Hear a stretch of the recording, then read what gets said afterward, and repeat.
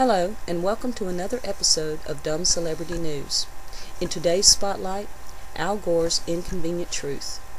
In this documentary, he urges Americans to do all we can to fight global warming, citing carbon dioxide as the major culprit. Let's listen. When there is more carbon dioxide, the temperature gets warmer. Look how far above the natural cycle this is, and we've done that. The scientific consensus is that we are causing global warming. Now, if this is truly our fault, we are obliged to do something about it. Don't you think? This is really not a political issue so much as a moral issue.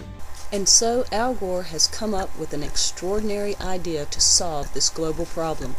He introduces it in his new book, An Inconvenient Answer. It's revolutionary. We have to act together to solve this global crisis. Our ability to live is what is at stake.